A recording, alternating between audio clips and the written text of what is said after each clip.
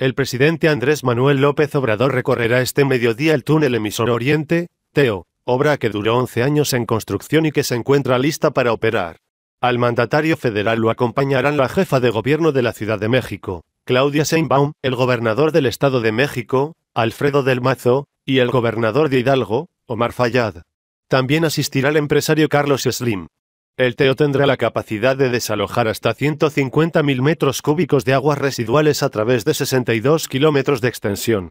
La obra ayudará a descargar el río de los Remedios, en la alcaldía Gustavo Amadero y el municipio mexiquense de Ecatepec y correrá hasta Tula, Hidalgo,